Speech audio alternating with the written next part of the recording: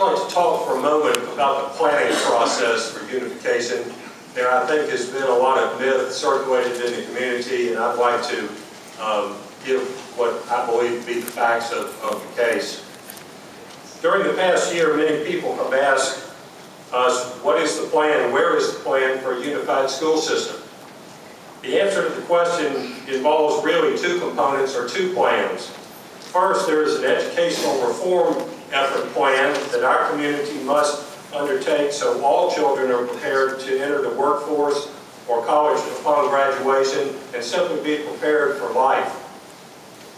For the past five months, CUE has been working with educators, parents, business and civic leaders, and other concerned citizens in open forums to develop a plan for school reform initiatives that will help both school systems or a unified school system improve their test scores, graduation rates, and other educational outcomes. The Education Task Force, which has been chaired by Walter Hopgood, plans to complete its work in the coming weeks and will present its recommendations to both the Valdosta City and the Lowndes County School Boards for their consideration and also present the plan and recommendations to our entire community. The other plan people reference is the responsibility of both school boards.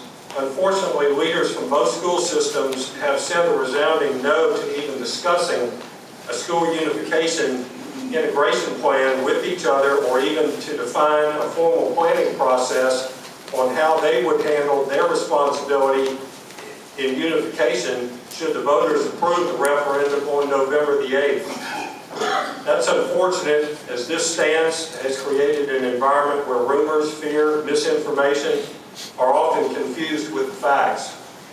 We do know that state law, Georgia law, says that both school systems will continue to operate independent of each other until the Lowndes County School Board makes the necessary arrangements in conjunction, of course, with the city school board to operate the city school system.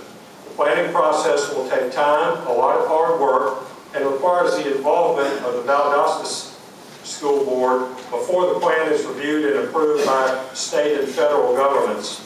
Since both school boards have declined to address this issue, we can only examine the precedent established in other communities in Georgia and other nearby states where they have voted to unify their public school systems.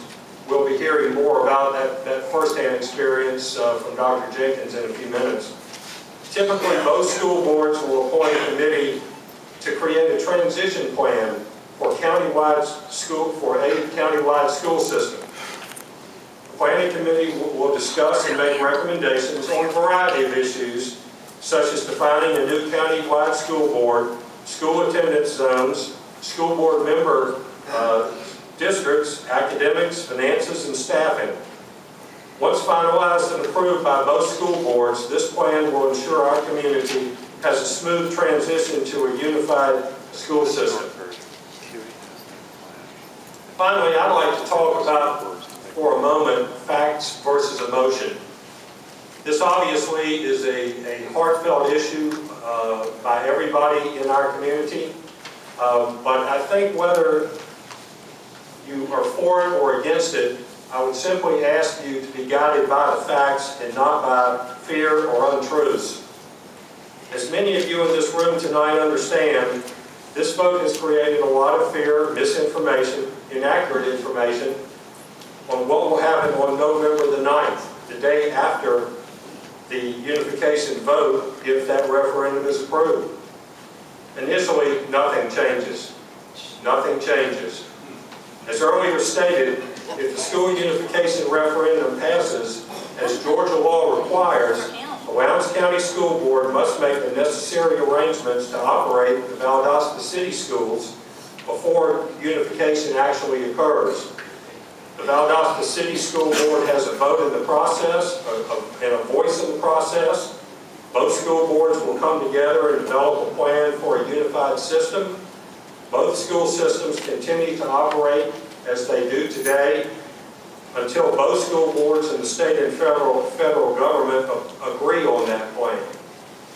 This planning process will ensure a smooth transition to a unified school system for our children and our community.